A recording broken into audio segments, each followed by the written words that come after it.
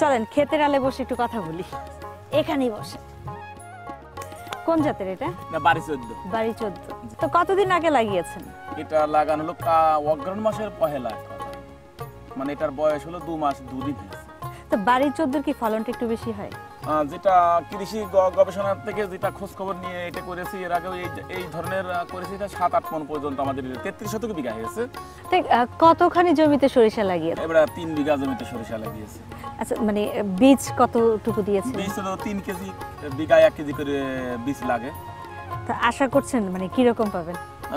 এটা এর আগে যে ফলন পেয়েছি এ জাত তাত যা তাতে দেখালে সাত আট মন করে সরিষা এবং তাদের তিন বিঘেই চব তিন অষ্টা চব্বিশ কুড়ি থেকে চব্বিশ পঁচিশ মনের আমরা আশা করছি এই সরিষা ক্ষেত থেকে। তো সরিষা চাষ মানে চাষ করাটা মনে অনেক সহজ না? হ্যাঁ অবশ্যই অনেক সহজ। আমি আমি এই ভুঁই থেকে চারটে চাষ দিয়েছি দেওয়ার পরে মানে একবার রুটার দিয়েছি মানে যেটা গুঁড়ো করে। এক কেজি করে বীজ দিলে এইটে চাষগুলো দিয়েছি দেওয়ার পরে যখন বিশ পঁচিশ দিন বয়স হয় তখন হলো দশ পনেরো কেজি ইউরা ছুটি একটা সেচ দিয়েছি। এতে জমিটা শক্তিশালী জমি ছিল জৈব সার দেওয়া। এই কারণে হলো দেখছেন হলো আদিতে মাঠের ভিতরে এই শস্যটা ভালো এবং বাজার মূল্য শীতি শস্যের দাম বেশি। বেশি। কতদিন লাগবে আর এটা উঠাতে? এটা আমাদের বাড়ি শস্য আমি প্রথম করলাম। যে শস্যটা আমরা করি তাতে আহ, আরও এক মাস সময় লাগার কথা। এতে সম্ভবত বিশ দিন ভিতরে আমার শস্যগুলো তুলতে পারব।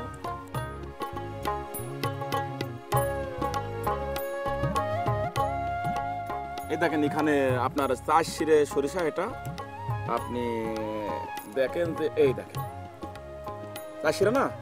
মানে অন্যটার মধ্যে যেটা হচ্ছে দুইটা শিরা থাকে। হ্যাঁ হ্যাঁ হ্যাঁ। এখানে সেটি এবং ব্যাপক শস্য আপনি দেখছেন খেয়াল ঠিক আছে? মানে এই কারণেই হচ্ছে এই বাড়ি চোদ্দ জাতের সরিষাটা চাষ করলে লাভবান। কারণ অন্যগুলোর মধ্যে তো দুইটা শিরা থাকে দানাটা কম থাকে। এই এক একটা ছড়া থেকে সরিষাটাকে কীভাবে ছাড়ান? এটা এক এক এভাবে সরানো হয় না। এটা হলো এখান থেকে কাটা হয় এই যে এখান থেকে কাটা হয় এই জায়গা থেকে কাটা হয় কাটিয়ে নেওয়ার পরে ভুঁইতে রাখা হয়।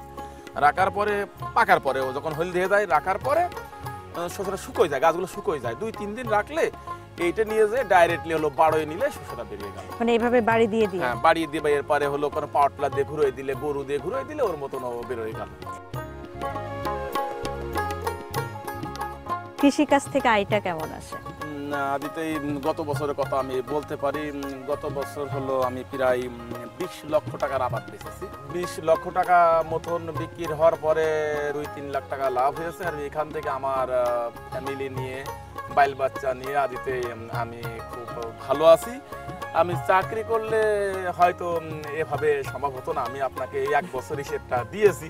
আর যেগুলো আপনি দেখে আসলেন তাতে এবছর উম, আরও বেশি পয়সা আমি লাভবান হতে পারব। কৃষি কাজটাই আমার কাছে খুব ভালো মনে হয়েছে। যত আবহাওয়া যাই যাক আর তা যাক দিকেই মানে কৃষিকাজ কৃষি কাজ নিয়েই আপনি শেষ পর্যন্ত বেঁচে আমি ডেভেলপমেন্ট হয়েছি এবং আমরা ভালো আছি বলা যায় আপনার।